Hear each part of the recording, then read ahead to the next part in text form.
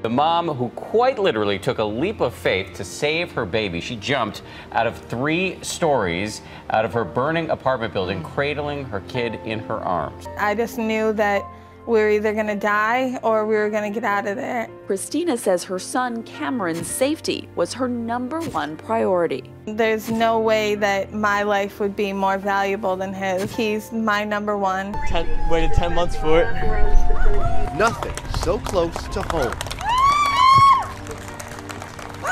I'm home. That's mom. The first best day of my life was almost 22 years ago, and this is the second best day of my life. In Indiana, surviving and saving. When her house wasn't enough to protect them, Stephanie Decker shielded her children with her own body. The love of my children. It goes beyond anything else in this world. Even giving up her legs for them.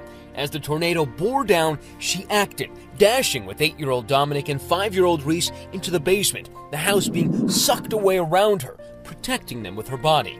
12 year old Christopher Ward has overcome more than his share of obstacles. He's a joy to be around. He's always happy, he's never complained. Despite the rare condition with no cure that left him legally blind as a baby, a breakthrough. Hackley learned about eSight glasses, a new product that combines a high resolution camera with a user's own prescription lenses.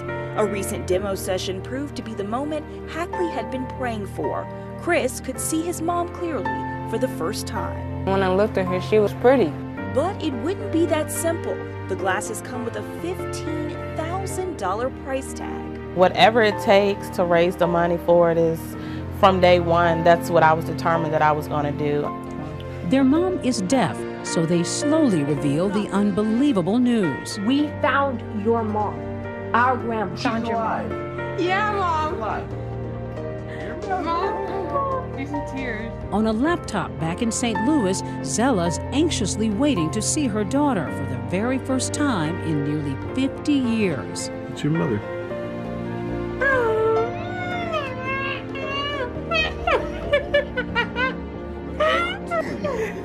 That's your mom. Mommy.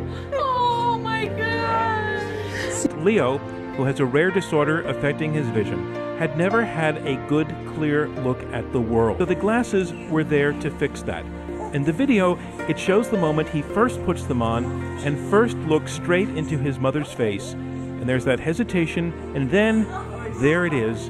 Obviously, Leo likes what he sees. That smile was something that was so different. Yeah, it was just a, it was just remarkable.